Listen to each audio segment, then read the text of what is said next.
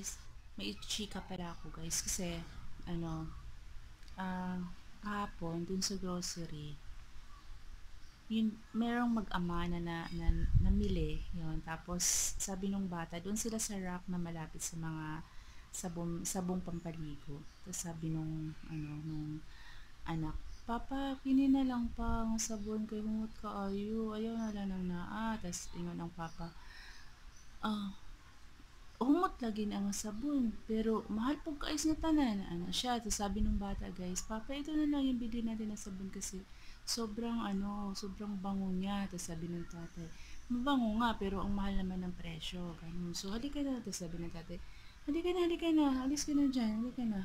Ano na tayo, magbayad na tayo. Yun, so, diba, parang, kaya nung ano, nung, tas, yun nga, yung pag-uwi namin, eh, syempre, ang bigat nga naman nung dinala namin, may bigas, tas yung grocery din. Tapos, ano, hindi naman, so, nung pinasok kami ng motor, hindi naman yung as in sa pinto talaga ng bahay namin, ganun. So, syempre, binitbit pa namin yung, ano, diba? Tapos, yung anak ko, eh, medyo napagod. Kasi, ang bigat nga naman ng binitbit. Yun, kaya sabi ko, anak, huwag kang ganyan. Kasi, tingnan mo nga, yung binitbit natin, eh, diba, sobrang blessed tayo. Yun. Kaya, ano, kanina nga, tapos pinito ko nga sa kanina, na arinig ko kanina doon sa grocery. Tapos, yun, yung nalungkot ako kasi sabi ko, ano ba, yung bang, sana pala binila ko na lang ng sabon yung bata, gano'n, yung inano ko na lang yung bata, di ba yung gano'n, parang meron akong ano, guilt feeling na gano'n, di ba kasi, ang hirap, ang hirap guys, lalo na kapag dumanas ka ng ano, dumaan ka ng hirap, ganyan, kami kasi pinag-aanan namin yan yung mga ganyan, na pinagkakasya lang talaga yung kung anong meron, yun. Tapos, yun, marinig mo na ganun yung ano ng anak mo, napakasakit po talaga yun guys, yun. So, kaya lagi kong inaano sa anak ko na anak, wag kang ganyan ha. Wag, wag ko masyadong lagi magre-reklamo. Dapat lagi magpapasalamat. Yung mga ganyan. Tapos, nakinig naman siya. Hmm. Sa bagay kasi guys, yung anak ko, eh, hindi masyadong sanay sa trabaho, kaya ganyan. Unting buhatin lang, ano na, masakit na lahat. Yun, uutusan mo lang ng ano, ano na kaagad. Pero sanay na ako na kasi ganyan talaga yan. Wala masyadong ano ba, yung, dili pa pareha na to guys na pag elementary pa lang ta na trabaho na ta sa uma. Na, ang trabaho, tabang na sana tatay nga magkuan sa kuan garden la ana. Sa bagay akong mama sa kuan naman na sila mananom naman na sila mga gulay.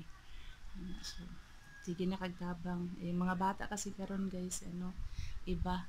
Yung syempre tayong mga magulang lalo na kapag galing tayo sa hirap parang ayaw rin natin paranasin dun sa mga anak natin na ano diba yung ganyan so yun yun yung katwiran ng asawa ko na, ano pero hindi namin siya yung anak namin hindi namin yun talagang as in spoiled na gano'n hindi ganun so Anyway, yun, bumili pala ako ng bigas kanina. Um, 15 kilos yung binili namin guys.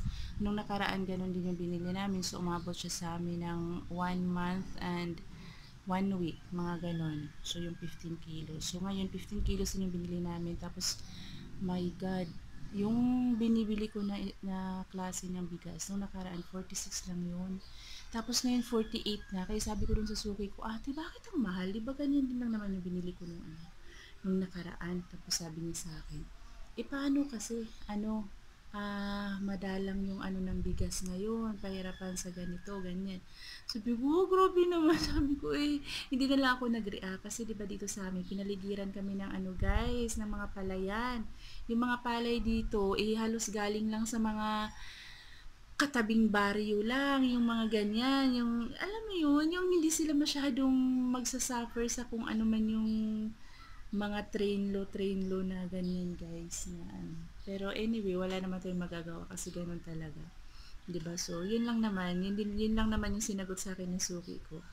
Yun. Tapos, kaya sabi ko nga, ano, yung style ko kasi guys ng pamalengke, ngayon ha, eh, once a month, pagdating ng sahod, binibili ko na lahat, naka ano na yan, nakalista na lahat yung mga monthly needs namin sa, pal, sa mapapalengke man yan or sa grocery, ganun.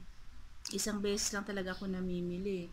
If ever na merong ano, merong ah, kulang. Kasi kadalasan guys, ang ano kulang namin yung itlog. Kasi yung itlog, binibili ko siya is parang at one dozen, one dozen lang, minsan two dozen, ganon. Tapos yung mga talbos, yung mga gulay, mga ano, yung mga leafy vegetables na madali namang masira kahit lalagay mo sa ref. So, hindi ako nag stack niyan. Good for one, uh, one week lang yung mga ganon. So, yun, kadalasan yun lang yung mga kulang na binibili ko. Tapos yung, ano ba, saging kamote, mga ganyan. Yun, so, Uh, dati kasi nag-weekly ako. So, yung pera ko, hinahati ko siya by 4. So, nakaalat na yan every week. But then, ano, yung napansin ko talaga na nung nag-change ako ng ano, mas okay sa akin yung once a month lang. Ganun. Kasi, mas nababudget ko siya efficiently. Yung nakikita ko na yung mga, yung mga product, yung mga items na, yung mga pagkain na nandito na sa amin. Ganun. Mas, mas effective yung ano ko dun guys, paano ko siya i-budget. Ganyan. So, yun naman eh, nagdedepende rin naman yun sa atin ng mga nanay kung ano kung ano yung style natin. So, wala namang mali or tama doon. Pero, sa akin, yung application na yun, parang medyo okay siya sa akin. Ganyan. So, uh, ano kasi, pag sa isda kasi guys, kapag dati kasi, 'di ba, ganun, laging ganyan. Bibili ka ngayon, ang per kilo ay ganito, mas less yung price. Pagbalik mo kinabukasan or 3 days after, bibili ka, yung presyo ganito naman. Ay, bakit ang bilis naman mahal ng isda, ganyan. Kasi nga, ang dami nilang reason. Sasabihin, ako ma'am kasi ano, ganito, balod, uh, maano ma, ma, ang tawag nito, may buwan ngayon, yung mga ganyan. Ako, yung mahal ng krudo, walang, madalang yung isda, sinorch pa, ah, yung, yung origin ng isda na to is galing pa sa ganito, galing sa ganyan, yung mga ganon, di ba? Eh, yun na nga, kung halimbawa daily ka bumibili, tapos, ah, yun yung ma mai-encounter mo araw-araw. So, wala talaga. Hindi mo, yung, yung hindi mo pa paano aanuhin yung budget mo ba. Kasi lagi naglalaro talaga yung presyo. Lalo na sa palengke din. So, yun eh, wala naman tayo nang magagawa doon kasi pagdating natin doon, kahit ba sabihin magtanong ka sa kanila, hanggang doon ka rin lang naman, di ba? So, ilalabas mo talaga yung pera mo dahil gusto mong bumili ng, ng ulam, gusto mong bumili ng pangailangan mo. So, yun, sasakit na naman yung ulo natin mga nanay kasi paano natin pagkakasyahin yung Halimbawa, yung bibili ka ng isang kilong isda, tapos medyo marami kayo sa family, isang kilong bigas, tapos medyo marami kayo sa family.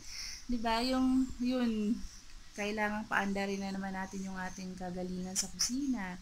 Yung ganyan, paano natin yun i-stretch, baga. Yun. So, uh, wala. Ito naman, ano ko lang naman to kasi sa, uh, na kung, kung ano na lang yung nakasanayan ko ba. Kasi dumaan naman ako dun sa daily purchase, weekly, 15 days, mga ganyan.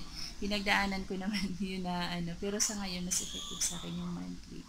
Yun, kasi nga yun, once a month din lang naman, ano, na, once a month lang ako nakakahawak din ng uh, pera. So, yun na rin yung in-style ko na i-ano ko na lang siya. Ipapamili ko na siya for one month. Yun, so, yun guys, i kanya-kanya naman tayo ng ano, sabi ko nga kanina, uh, tayong mga nanay, eh, magaling tayo sa ganyan, paano natin uh, pa, papahabain.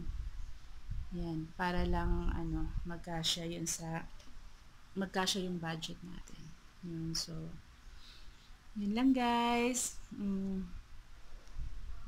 uh, bukas, uh, siguro, ano, uh, isi-share ko rin sa inyo or maybe later, uh, maybe next video.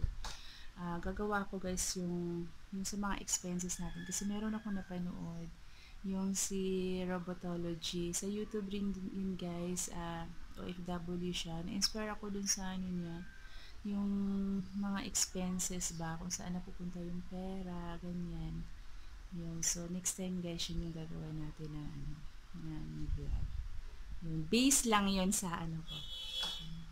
So, thank you guys. Thank you guys for watching. Ayan. At saka, alam niyo naman, ito yung favorite natin gawin.